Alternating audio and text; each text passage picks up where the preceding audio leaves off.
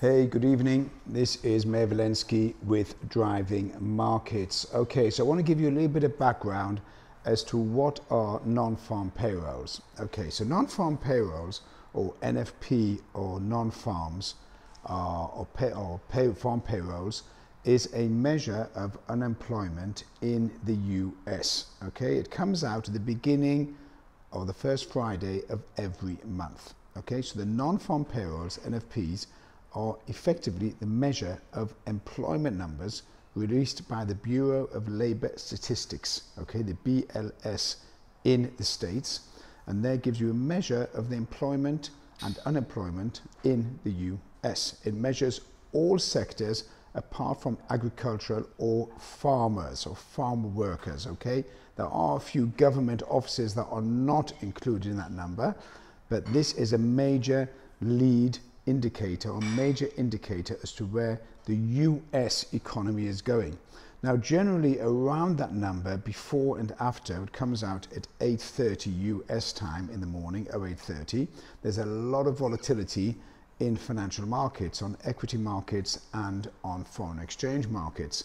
Um, generally, if the number is good, then the markets rise because it shows a strong economy. So over the last few years, where the non-farm payrolls have been going up and up and up, especially since the corona pandemic, where unemployment reached super high levels in the US. Since the end of the pandemic, then, and then employment has become more and more complete and unemployment has dropped to practically all-time low levels.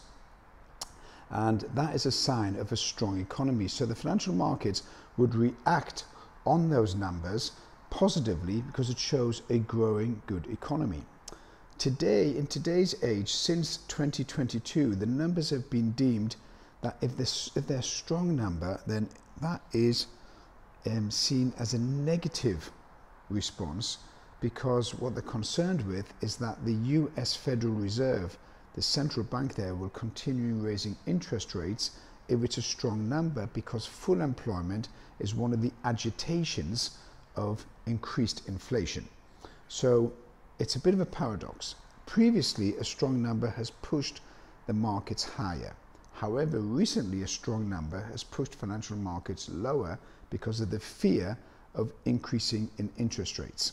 Now, um, yesterday on Friday, the um, came out the non-farm payrolls, which were 261,000 jobs created in the US, and that was higher than expected. However, the US markets went higher, which is unusual in 2022.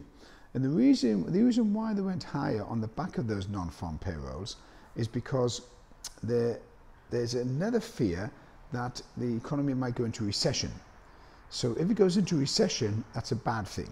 So what you've got effectively is you've got a lot of uncertainty in financial markets regarding these essential economic indicators, economic numbers. Now, the non-farm payrolls yesterday normally on 2022 would have sent the market down. However, they sent the markets up because what the investors and the traders and the analysts looked at say, wow, the UK, the US economy is, I keep saying UK, apologies, but the US economy is resilient, it's strong, and therefore can withstand the recent interest rate rises. If it can withstand the recent interest rate rises, that must be bullish for the market, so they push the market up. Now, there isn't going to be a recession as long as there is full employment. And this again is a paradox. It's unusual when a situation whereby you've got full employment, higher interest rates, and consumer spending is more or less stable. It has been up and down, but it's more or less stable. So you won't have a recession with full employment. However, you may get higher inflation because as long as there's full employment and as long as there's demand for workers, then what's likely to happen is that um, corporations, retailers, wholesalers, producers are going to either maintain the prices or push the prices higher. And then also in this full employment, you're going to have the, the employee or the consumer having regular salary coming in and is going to go out and buy the goods.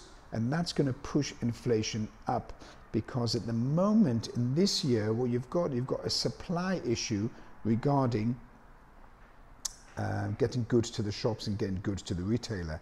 So when there's a shortage of supply with full employment and a high demand for those goods, that's going to push inflation further. And what's going to happen is now is that inflation is likely to rise much higher in the US. I'm focusing on the US because I'm talking about the non-farm payrolls and employment numbers. And the inflation is likely to rise higher and the Fed now is likely to get even more hawkish on interest rates. However, the market saw that not necessarily as a negative yesterday, they saw that as an okay, we can tolerate higher interest rate rises because there's full employment. They were really worried about recession. Now, when the non-farm payrolls come out at 8:30 US time, the um, the impact on that will be on the dollar and obviously on equity markets. Well, equity markets went up or should go up if the number is strong, and the dollar yesterday went down because when, the, when there is a, a movement to move into high risk assets, which is shares or cryptos, then the dollar is sold off because the dollar is seen as a safe currency and a safe haven and a stable um, home to put your money in the event of uncertainty. So the dollar was sold off, the dollar went down. The other major currencies, which is the Swiss franc, the pound, the yen, the euro, went up.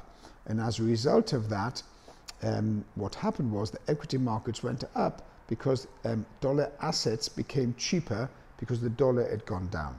So the non-farm payroll in summary is a major lead indicator, comes out on the first Friday of the month. It gives you a very good impression of where the US economy is going regarding uh, growth and employment.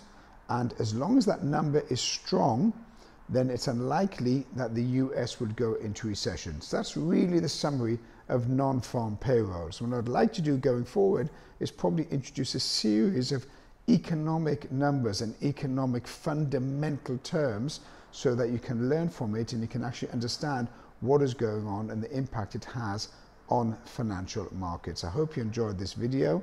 You can contact me, subscribe to it, um, you can um, pass a comment. I also have a channel on Instagram called uh, Driving Markets. These I do on a daily basis. Have a good evening.